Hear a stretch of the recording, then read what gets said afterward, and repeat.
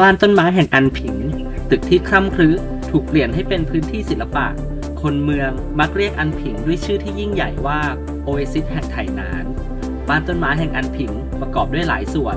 ทั้งส่วนพิพิธภัณฑ์ประวัติศาสตร์การค้า แบบจำลองระบบน้ำในอดีต คาเฟ่ ไฮไลท์ก็คือบริเวณกลางที่เป็นบ้านเอาไว้เก็บสินค้าเหมือนโกดังในสมัยก่อน